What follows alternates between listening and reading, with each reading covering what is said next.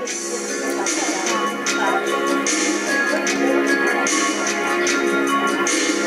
myśl ile razy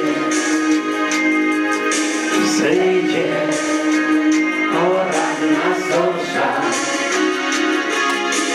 Nie myśl ile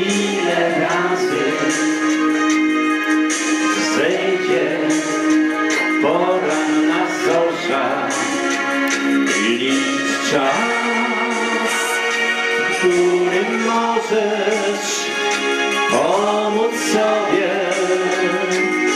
i innym. Licz czas, którym możesz pomóc sobie i innym. Licz czas dziewięciu, którym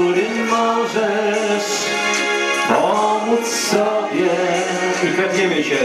I innym licz czas, który możesz pomóc sobie. Na co było rękę i klepniemy się. I innych, ale o, dobra. Trwaj więc i chwytaj chwilę.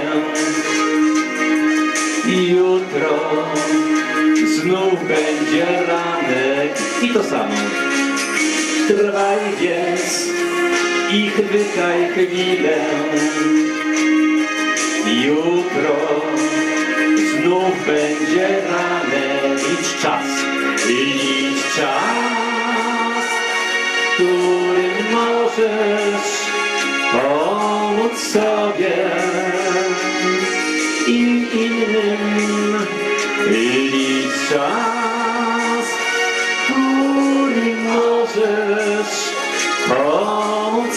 sobie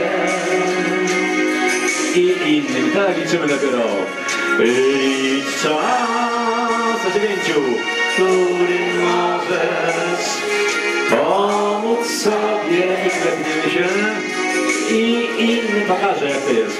Licz czas, którym możesz pomóc sobie właśnie to jest to.